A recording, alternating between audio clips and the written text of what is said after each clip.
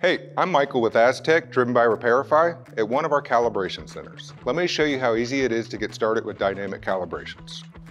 In most cases, it's as easy as making sure the car is ready for the road, such as checking tire pressure and making sure that you have enough fuel to perform the calibration. On other vehicles, such as this Ford, you're gonna to need to perform a level check. Make sure the vehicle's sitting on level ground, take your level, set it on the face of the sensor, and level it. Then all you need to do is hook up your asTech, hop in the driver's seat, and go.